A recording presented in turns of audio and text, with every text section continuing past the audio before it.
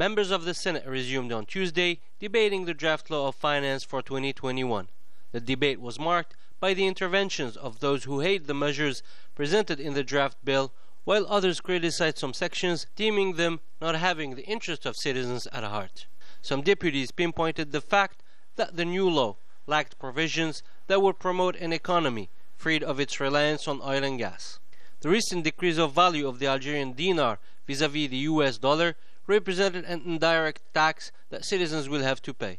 They stressed that such loss in value shall lead to a surge in prices of consumer goods, and thus lowering the purchasing power of middle class citizens. In the same context, certain senators deplored the decrease in the share of the budget which was amounted to 4% that was intended for the health sector during the ongoing COVID 19 health crisis. Many speakers also raised the issues about the availability of cash at post offices, which was reported recently, as well as the growing problems of the informal market phenomenon, which weakens the national economy, while others stress the need to improve the social and professional insertion of contracted employees and their integration. Prime Minister Abdelaziz Jarrad chaired on Tuesday a meeting via video conference with governors, along several ministers who took part to the meeting, namely the Ministers of Interior, Agriculture, Health, and National Education. This meeting was first devoted to assessing the measures implemented to fight the COVID 19 pandemic as well as to strengthen hospitals' capacity to receive more patients. In the same context, a review was done of the current health situation in schools. A presentation was made of the follow up system implemented by the Ministry of National Education with an assessment of needs in means of protection and disinfection. The meeting then further reviewed the specific and operational arrangements implemented by the governors in coordination with the concerned bodies to secure water supply nationwide in order to remedy to the shortage of rainfalls following the drought the country is enduring. The current status of flood prevention systems was also presented along actions to implement as soon as possible in the coming fall or winter seasons. At the end of the meeting, the Prime Minister instructed governors to step up their vigilance to remedy to the recent upsurge of COVID 19 infections while focusing their efforts on improving healthcare support of patients. The Prime Minister also gave further instructions to ensure the mobilization of control teams comprising national education inspectors and personnel in order to carry out strict checks about the compliance with health measures in schools.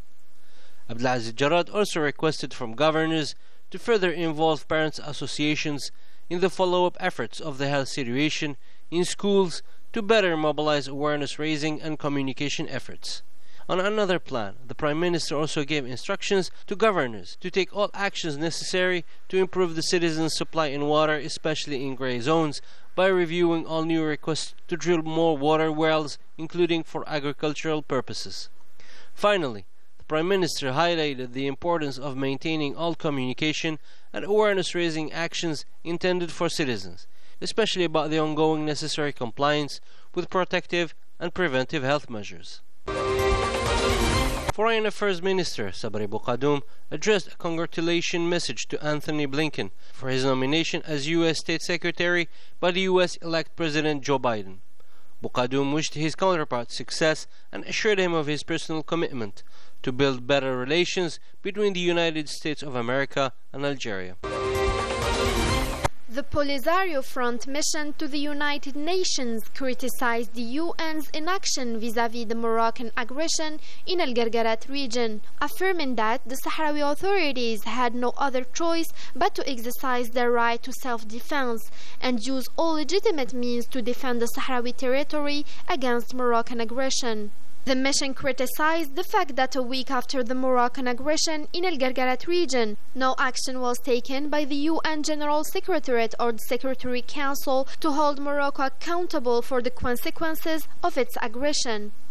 The conflict of Western Sahara was also at the heart of the interview which brought together the Mauritanian Minister of Foreign Affairs Ismail Ould Cheikh Ahmed and his Sahrawi counterpart Mohammed Salim Ould Salek. During this interview, the two officials addressed in particular the latest developments and the situation in Al Guerguerat region.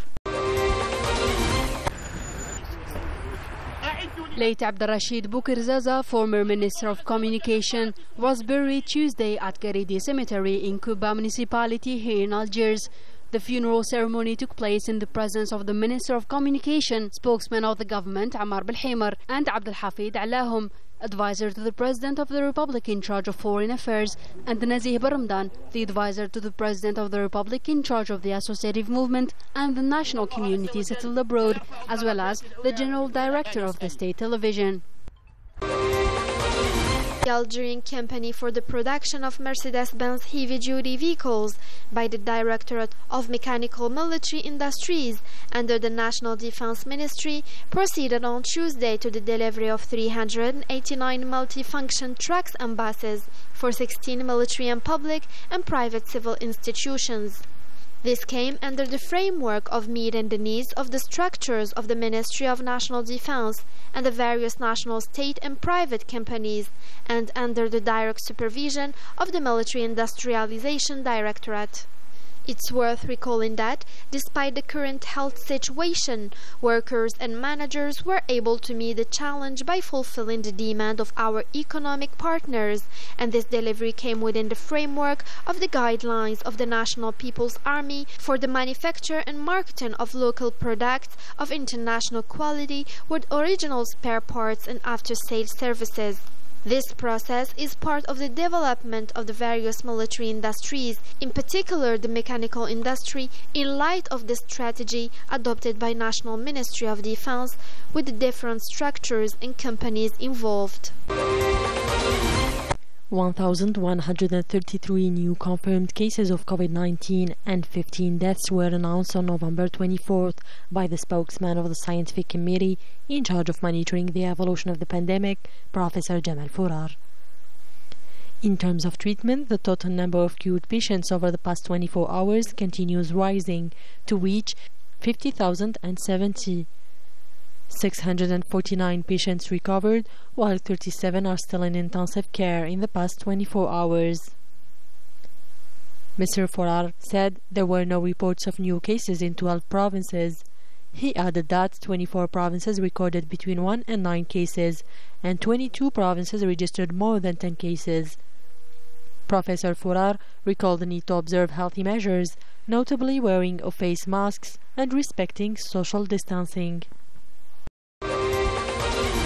On your own or with friends, about 50 road trip enthusiasts came from several northern provinces to enjoy an outstanding travel experience on the beautiful roads and tracks of the Algerian Sahara. Our objective is to promote Saharan tourism. Every end of the year, we organize several road trips in the Algerian south. After a well-deserved bivouac, experienced bikers take their rides, driving kilometers of sand and enjoying breathtaking landscapes. It is important to know that autumn and winter are the ideal season to ride your bike or your car, so do not hesitate to come in these wide open spaces to enjoy a mild climate and live one of the most exceptional experiences that can exist.